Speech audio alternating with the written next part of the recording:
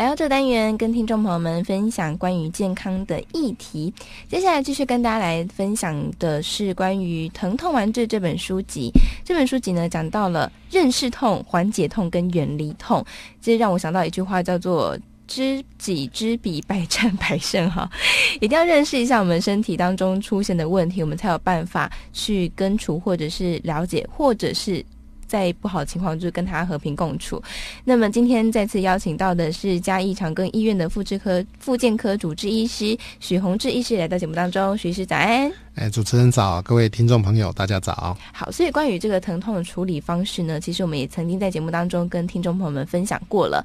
接下来跟大家分享的就是关于到底什么原因会让我们疼痛呢？其实大概呃，医师在书里面分成了几类别，对不对？对对，哎，我们呃之前有提过了哈，就是我们呃。疼痛有分成所谓的急性跟慢性嘛，哈，那急性的话就是扭伤啦、拉伤啦、顿挫伤这种东西引起的，哈，那治疗的原则大概就是保护、休息、冰敷、压迫、抬高这个 P R I C 五原则，好，急性的我们讲过，好，其实很清楚，哈，扭伤、拉伤、顿挫伤，好，然后再来它保护，好，五个原则，嗯，那事实上我们慢性的疼痛啊也是。很常见，好，慢性的疼痛，我们主要的原因呢，哈，通常在软组织来讲，就是它是一个低强度，然后一个常经常重复的这种受伤，累积到一定的程度，它造成我们的疼痛，好，这称之为所谓的慢性疼痛。好，那慢性疼痛我们之前有讲过了，哈，可能是这个呃腰椎的。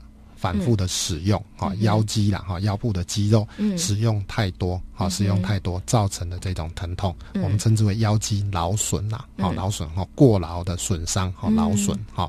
那或者是颈椎，哈有受到伤害，哈之前提过，像颈椎的经过被这个车子撞到了，哈撞击了，哈这种挥鞭症，哈之后造成的这种肌肉的保护性收缩，哈我们称之为落枕，哈这一类的话都是属于我们所谓的慢性疼痛。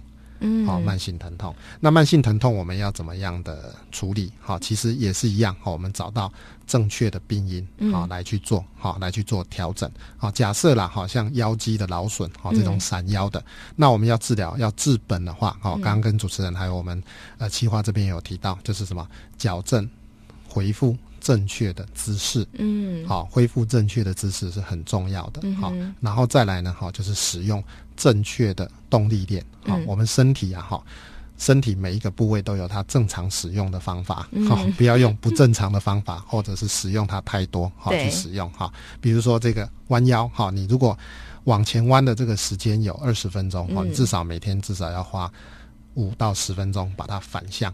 好反向，我们就是说对侧肌肉也要做训练。好，对侧肌肉哈，就是恢复正确的姿势很重要。有时候有到有时候我们比如说我们弯着腰在洗衣服，对，洗久洗久啊，突然要直起来的时候就哦痛。对，好。对，那事实上也是啦，哈。事实上，各位如果有在关注我们部落格或点书，也知道哈。我们最近这大家一些同业啊，哈，最近在讨论一个很有趣的问题，哈。我的一位好朋友啊，哈，这个是某某这个很有名的这个工作坊的主持人，哈，他就跟我说，他最近发明一个方法，就是什么？他在办公的时候，他打电脑，他是站着打电脑，站着打电脑，站着打电脑啊，哎，马上很多人来去怀疑，他说，哎，做这样会有效吗？你这样会更累吧？嗯，那事实上，我就就。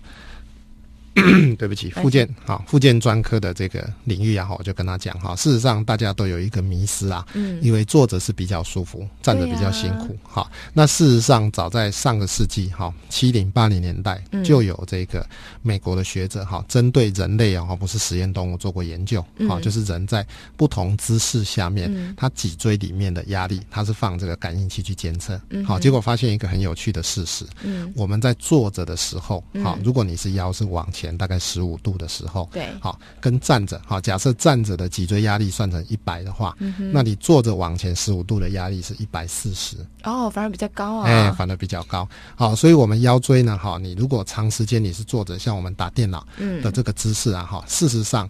这个脊椎的压力呢，是站着的一点四倍，嗯，嘿，一点四倍，好，所以大家会觉得，哎，奇怪，坐久了哦，怎么还是很腰酸背痛？对，啊，事实上是这样，你会发现，哎，主管、老板、董事长都不会，为什么？那事实上，我们的腰椎它往后十五度，嗯，好，就是我们靠在董事长椅的这种十五度上面的这个腰椎的脊椎的压力才是最小的。哦，哎，所以变成说做的话，还是有做的这个方法啦，嗯。好、做的方法，好、所以以前我们老一辈，哈、或者是以前这个俗谚在说啊，哈、坐如钟啦，嗯。好、坐如钟，哈、的确是有道理，哈、因为大家看那个钟的那个弧形啊，哈、嗯。我们坐在靠在这个钟上面，哈、嗯。大钟的上面的时候，是不是腰椎它是往后十五度，哈、嗯。差不多是这样，好、所以这个姿势啊，哈、才能够坐得久。那如果是我们现在年轻人啊、文明人呢，好嗯往前的时候，大家可能要看到这个脊椎的压力还是比站着要来得高啊、嗯高上一点四倍啊，这个也是有医学的科学的根据的。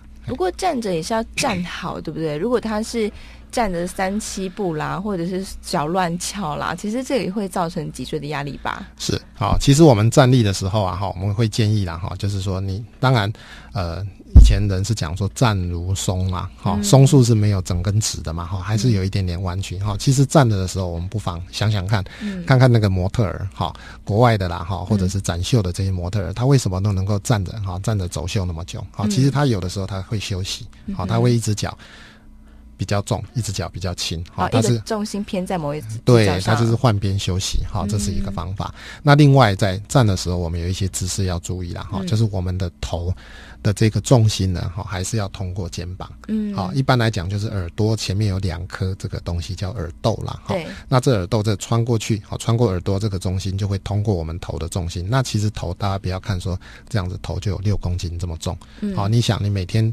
提着六公斤的东西呀、哈，肩膀会很酸，嗯所以我们尽量要把脖子往后收，好、嗯收到这个跟肩膀的最高的这个线一起一样高，可以从请别人看或者自己从镜子去观察。嗯好、那其实还有一个很简单的方法，就是我们头上放一本书，嗯好、头书的这个重心，它只要通过这个肩膀的这个中间这个线的时候，它书就不会掉下来。好、哦所以以前看人家在训练的时候，都是头上放一本书，它不会掉下来。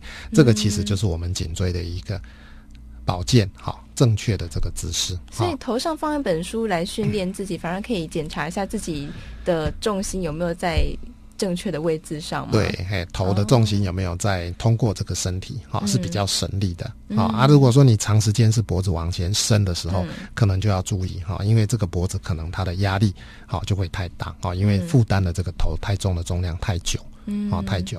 所以非洲的那些妇女就把洗衣篮都顶在头上，是 特别的厉害嘛？对对，它其实如果是通过它的重心的话，哈，它其实能够是顶很重的。哦好、，那如果说你是往前伸太久的时候，嗯其实长时间的它的这个脊椎的压力还是会太大。有，我发现自己在坐着的时候，或者或者是站着的时候，也会发现，就是我会不自觉的头往前倾，对就像小乌龟的感觉。对对，好，那其实这个身体我们刚刚讲动力链它都是相连的。嗯，好，因为你看我们听众朋友，你如果长时间打电脑，或者是我们头往前伸做事情的时候，不是只有头往前伸，还有另外一个什么，肩膀两边会往前跟。哦，哎，对我们称之为圆肩，哈，就是像肩膀从上面看起来好像一个圆弧一样。嗯，好，圆肩的时候就会造成我们背后的肩胛骨，嗯，好，肩胛骨的这个肌肉长时间的扯紧，长时间的拉紧。好，所以我们在门诊也看到很多，它是什么？它是背痛，嗯它是背痛啊，痛的时候呢，它是在手这里表现症状，嗯啊，结果一找才知道都是哪里，都是肩胛骨，嗯好，夹心、肩胛心，或者是说膏肓这些地方疼痛。嗯所以以前的人不知道，哈，以前的古书会写说，哎，病入膏肓，病入膏肓，这个病很难治，好，嗯其实是这样子，哈，因为。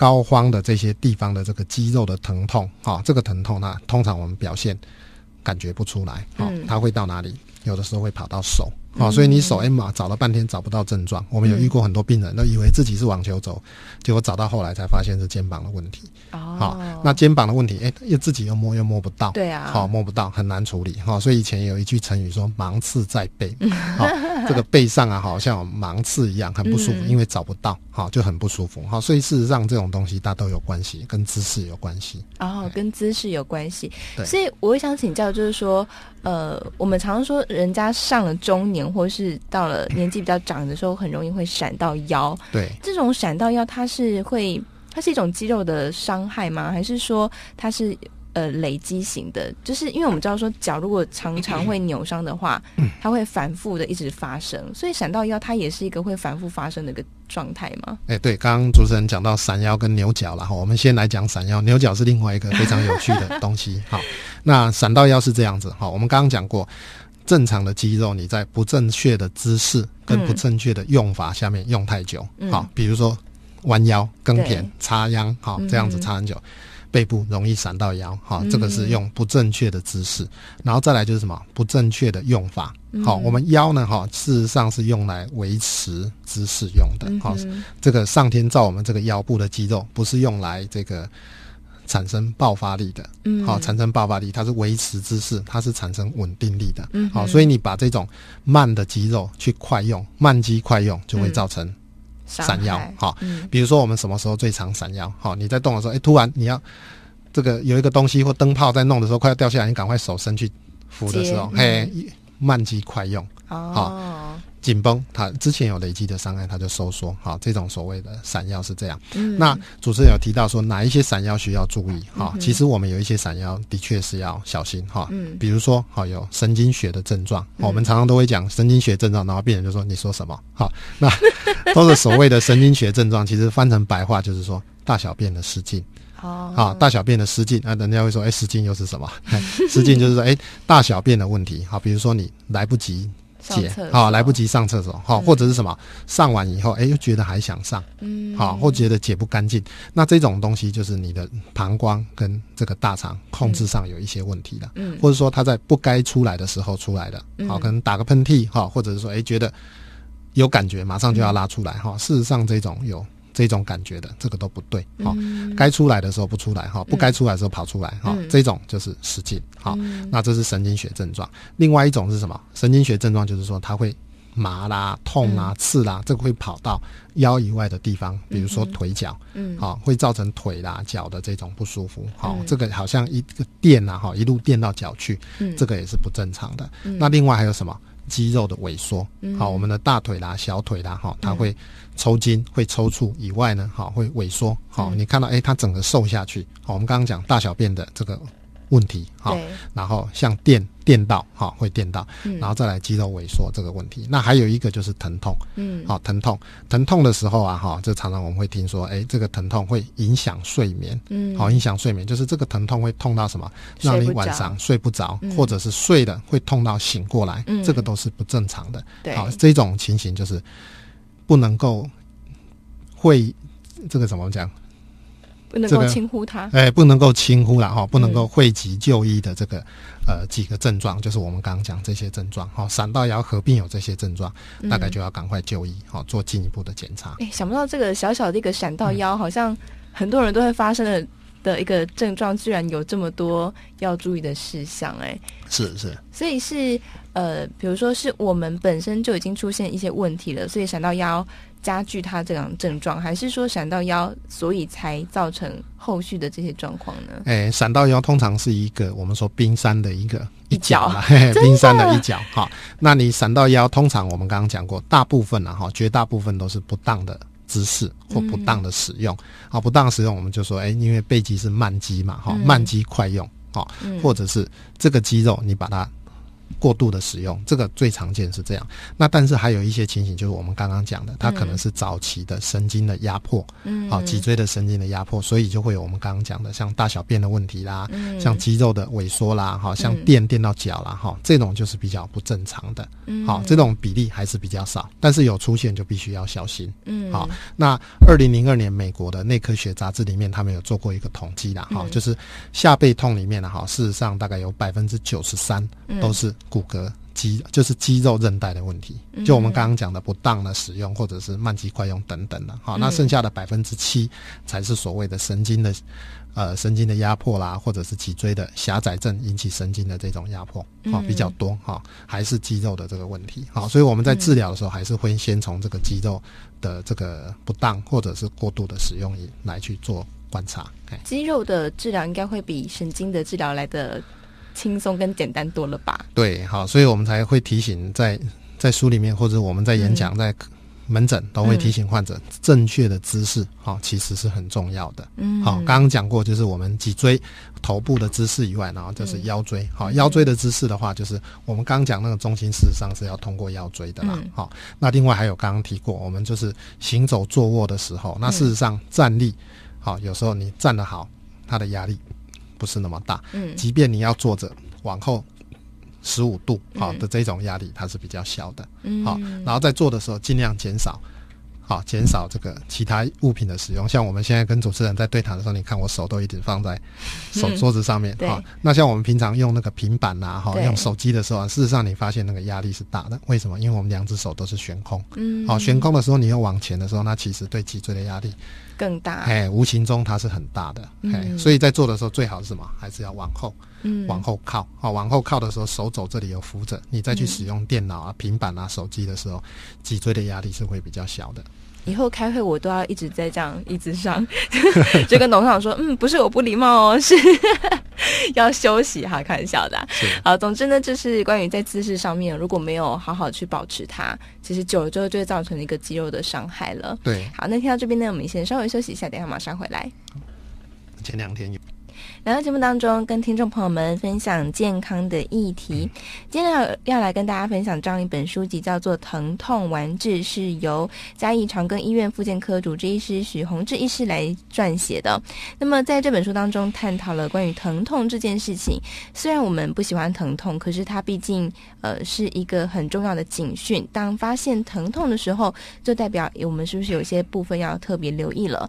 那么今天呢，要再次邀请到医师来到节目当中。跟大家一起来分享关于脊椎侧弯这件事情，呃，欢迎医师，医师早安。哎，主持人早，各位听众朋友，大家早安。好，我觉得如果现在到小学里面去抽查，一定会发现有，大概高达九成的学生都是有脊椎侧弯的，吧？是是，对啊。其实脊椎侧弯在呃我们的门诊里面也是很常见。好，那但是通常来的时候，他都不会说自己脊椎侧弯。好，有的是用背痛。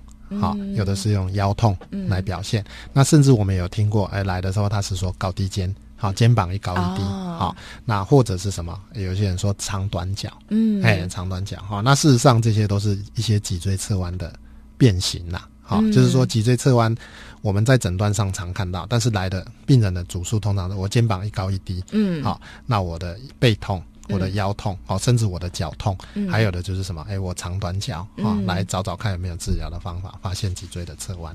可是这个脊椎侧弯，它感觉上，因为很多人都有，所以它是必然会发生的吗？呃，脊椎侧弯是这样啦，哈，我们可以来分几个啦，哈，就是说，呃。青少年的脊椎侧弯，好，青少年的脊椎侧弯，这个通常发生在什么？就是我们快速生长的时间，好，通常都是过高中的时间，男女生都是这样。那生长的时候，我常举一个比方了哈，你就想象那个小孩子，他是一个像雨伞这样，他那个伞的那个骨头呢，哈，就是他的骨骼，他的骨头长的速度啊，哈，比那个伞面长的速度要快，嗯，好，所以久了久之，身体就会把那个。挤在脊椎啊，哈，挤在身体里面，哈，所以就会产生侧弯。我们都会跟爸爸妈妈这样解释啦，哈。那这个时候要做的，哈，其实青少年的脊椎侧弯，我们就必须除了这个姿势的调整之外，他的背肌、背部的肌肉的拉长，好，牵拉的这种训练就很重要。嗯，好，所以以前也会有人说，哎，脊椎侧弯啊，不管它，就是说啊做。拉单杠，嗯，好，这个是有几分道理的，好，你就做背肌的这个牵拉，好，跟强化，这个是有必要，好，那再来就是做我们所谓的姿势的调整，好，那青少年的是这样，那当然如果角度大一些的，哈，像我们量起来这个角度大于三十度的，好，可以考虑使用这个背架，嗯，好，背架，那以前也是观念就会认为说，哎，穿背架就第一个很丑啦，好，第二个穿的很不舒服啦，好，那事实上我们现在复健科有一个新的。夜间的备降，哈，由日本这个大阪医科大学他们研发出来，哈，因为我们青少年生长的时间通常都是在晚上，嗯，晚上的生长激素分泌比较多，对，所以这个睡眠的时候穿这个矫正型的背架效果会更好，好，所以以前认为就是，哎，你。角度大到一个程度去开刀，好。那事实上，现在如果这些角度大的，我们会建议他穿夜间的这种背架。好，第一个方便，第二个这个不会有美观的问题，第三个其实矫正效果更好。好，所以我们现在青少年的这种脊椎侧弯的矫正，大概就是说姿势，然后背肌的牵拉跟强化以及背架。好倍加的使用。好，那当然还有另外一个族群，就是我们节目里面的长辈们。好，长辈们其实脊椎的侧弯也是有看到。好，脊椎侧弯如果有发生在我们比较长辈的时候，我就必须提醒，还有一个就是脊椎的驼背，哦也必须注意。好，那如果是我们在中老年的长辈发生这种侧弯或驼背的这种情形，有时候就需要注意是不是有所谓的脊椎的骨质疏松，嗯，好，跟压迫性骨折。压迫性骨折，哎，压迫性骨折。好，那这个我们之前呢，哈，有跟这个呃主持人提到过了哈。其实刚刚在讲的时候，就是我们老人家，嘿，为什么哈？老人家很多都是驼背。好，那事实上就是我们前面的这个胸骨，哈，肋骨跟胸骨这个软骨的部分是比较多的。好，那随着年纪增加的时候，我们软骨好像海绵一样，它久了它会变硬，嗯，变小。好，它变硬变小的这个结果呢，就是前面的空间变小了，后面的软骨比较少，好，所以你前面的话就会越来越驼背，好是这样。那另外一个就是说，事实上我们的这个骨质疏松，嗯，是隐形的杀手。为什么称之隐形的杀手？有时候它本身不会痛，嗯，或者是它塌下去的时候偶尔痛一下，嗯哼，好，所以我们常常有的长辈说，哎，奇怪，这个这一阵子就是腰背痛一痛，哎，痛一阵子就好了，哎，痛一痛又一阵子就好了，嗯，就没有去注意。但事实上，有时候来医院检查的片子一照，才发现，哇，好几椎的脊，好几节的这个脊椎都变扁了。塌掉了。哦，它因为其实塌掉，每塌掉一次，它就痛一下。那痛一下，它过一阵子，哎，长得稳稳固了，哎，它就好，觉得好一点，又不管它。它可能哪一次又不小心又又再塌一下，又变越来越窄，越来越窄。好，所以我们常常会提醒我们的患者啦，或者我们的住院医师。骨质疏松引起的压迫性骨折，通常不会一次到位，嗯，它都是每次每次每次，哎，一次一次一次塌，啊，这样的患者他就会呈现反反复复的背痛，嗯，好，反反复复的背痛。如果有这样的情形，我们还是建议要做 X 光的检查，好，看看他是不是有这样的情形。好，有的时候他是真的就是。呃，慢慢的这个塌陷了哈，造成所谓的这个侧弯跟驼背。嗯，所以这样子的话，呃，我们的长辈朋友，比如说他是从年轻的时候就有脊椎侧弯，他的侧弯的角度会随着年纪越大越来越大吗？呃，这个也我们也是分两个部位啦哈。一般来讲，如果是腰椎的哈，大家想我们腰椎，因为它附近没有肋骨，对，好，没有肋骨的。没有胸骨的固定，所以腰椎的侧弯很多都是因为肌肉的不平均。嗯，好，刚我们刚刚讲了，可能两边的肌肉用力不平均呐，哈，或者是站姿的这个坐姿的这个不好，甚至有的是长时间的翘脚，也会造成骨盆的高低边，造成脊椎的弯曲。好，那这种的比较好矫正，好，因为它这个我们只要矫正它的姿势跟肌肉的不平均就可以矫正。嗯，那。这个胸椎，哈，胸椎因为它旁边有这个肋骨，有胸骨去固定，好，所以这种侧弯的时候，我们就必须考虑更多的因素，好，像刚刚提到的，像脊椎那个骨质疏松，对，等等。那另外还有就是脊椎有没有这个旋转的情形？旋转，哎，就是说它是不是两边的这个呃肩膀它是一前一后的，好，或者是一上一下的，它有这种旋转的情形，它就会造成脊椎的有一个扭曲型的这种。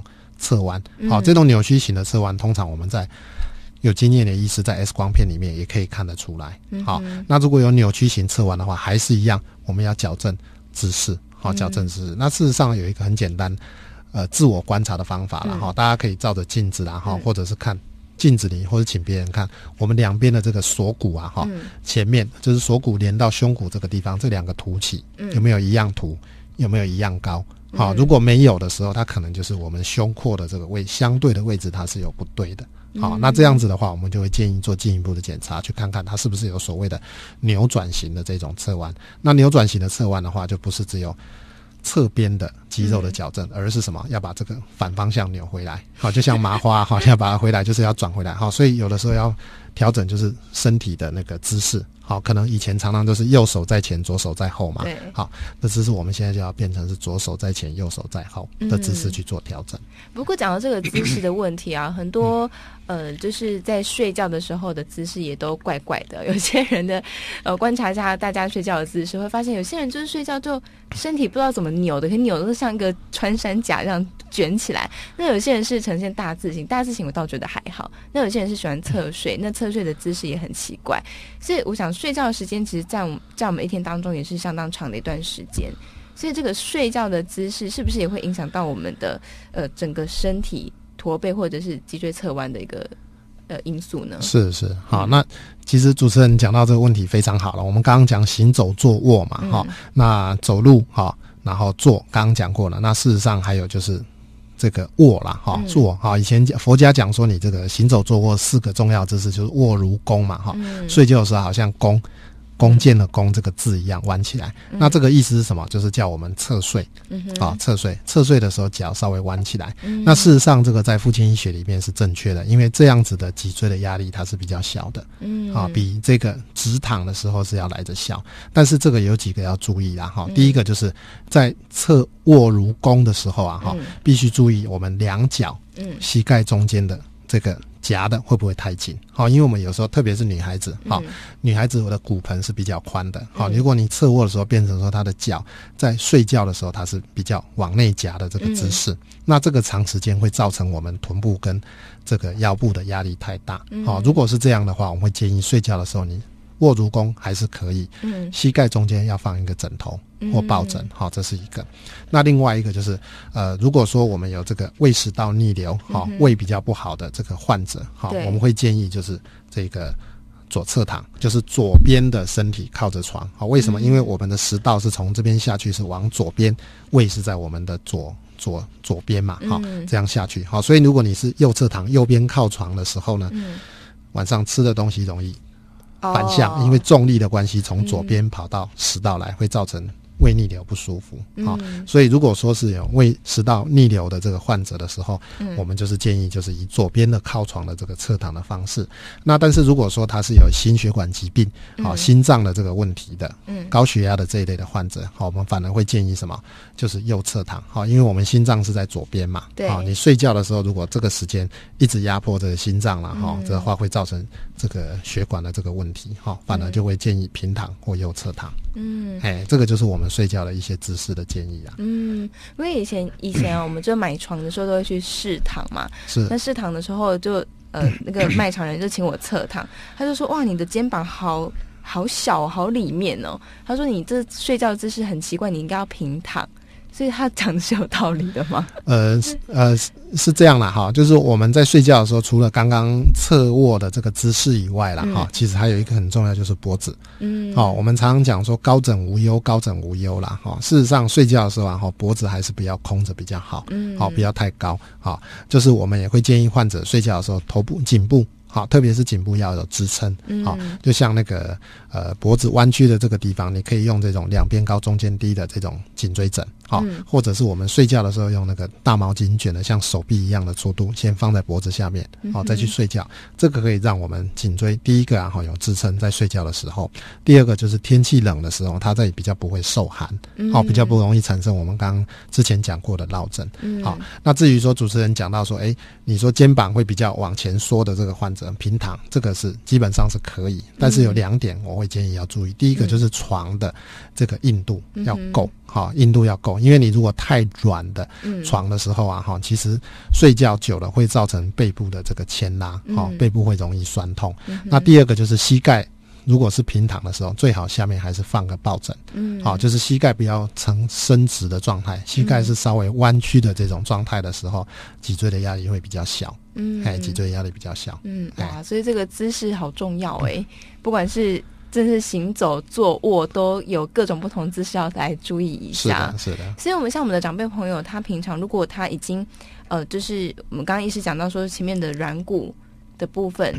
呃，就是崩崩塌吗？可以这样讲吗？萎缩是造成的这个驼背，它有什么样的方法可以让它呃，就避免驼背的姿势呢？OK，好，其实避免这个驼背啦，哈，大概我们就是以前大家都渐渐都有知道一个观念，就是要补骨本嘛，好，少年的时候就要补骨本，这个基本上我们是正确，好也同意，好，但是除了骨补骨本以外，我们骨头不是只有钙质啦，还有就是所谓的。